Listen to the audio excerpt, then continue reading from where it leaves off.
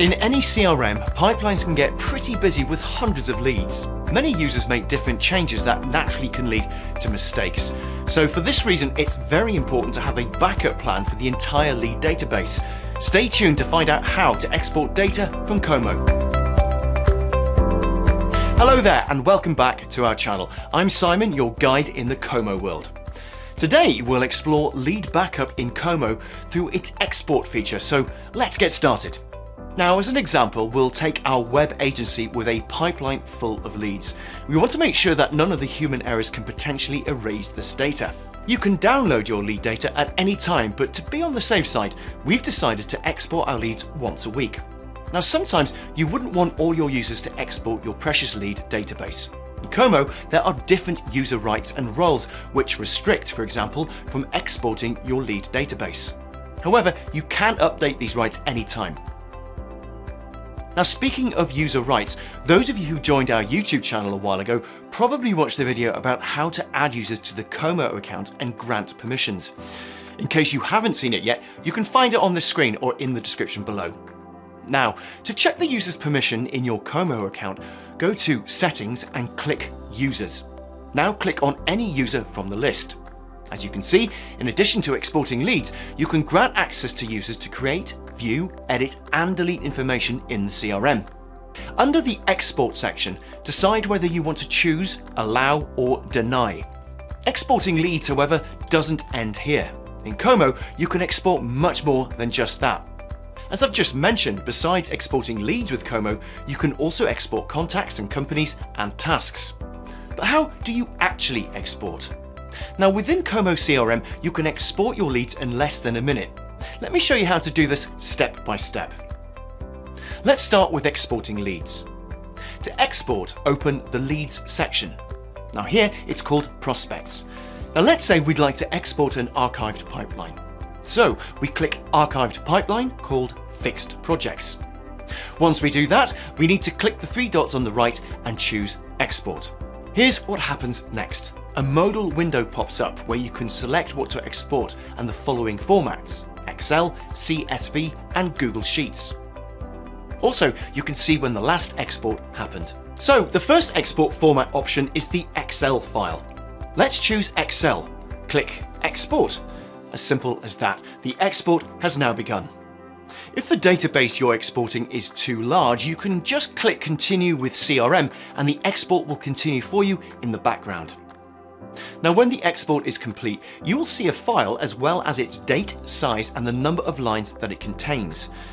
Now for the most exciting part, let's download the file and open it to see what it actually looks like. Okay, so here's what we get. Lead ID, title, sale and responsible user created on, created by, modified on, modified by, closed at, tags, lead stage, pipeline, and finally, full name, contacts company, contacts responsible user, leads company, phone, email, and additional custom fields. All the data from each lead card has been successfully exported to our spreadsheet. Now, let's move on to the next format, the CSV. Long story short, CSV stands for comma separated values. It's a text file where information is separated by commas. It's the same process as before, you just need to choose the CSV file instead of Excel. Now, CSV files work best if you want to move your database to a different program. You can tick the box for ASCII encoding, a character encoding format for text data. And that is our same old lead database, but in the CSV format. Now, let's look at the last export format, Google Sheets. For this option, you'll have to authorize your own Google account. Once you do that, Kommo will request access to it. After you click Allow, you'll have to select a folder in the Google account where you want the spreadsheet to be transferred. In our case, it's the Leads folder. Click Select, then Export. After the export is complete, click the link to open the file, and voila, our lead base is now in the Google spreadsheet. In case you don't want to export the whole pipeline, you can export something specific. Just create a filter, apply it, and export it the same way as I've just described.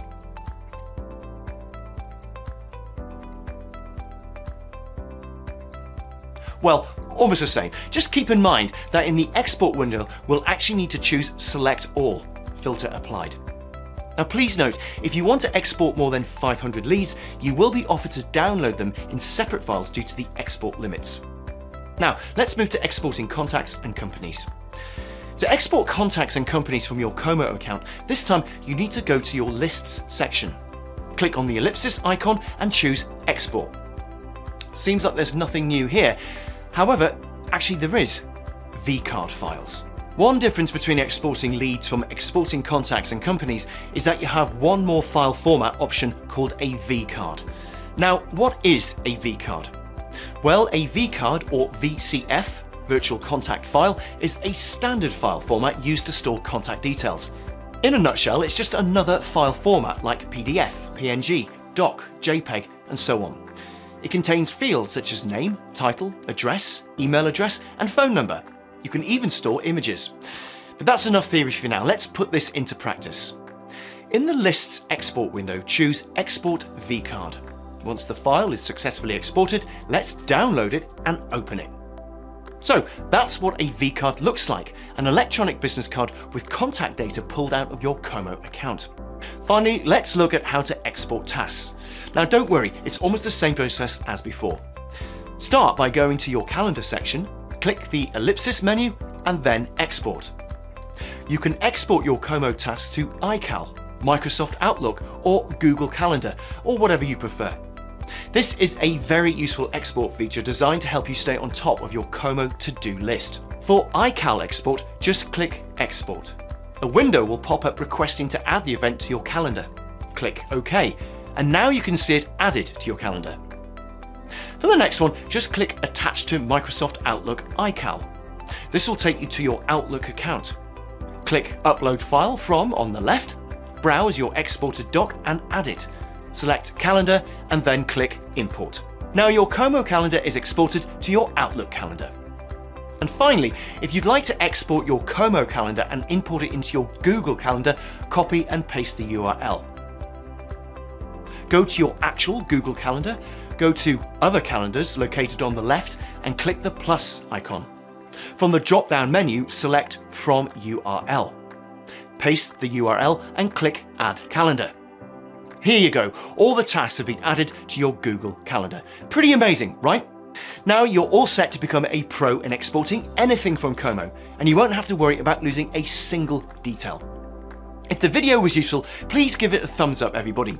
To see more tutorials like this, don't forget to subscribe to our YouTube channel if you haven't yet already done so. Until next time, take good care of yourself and I'll see you soon.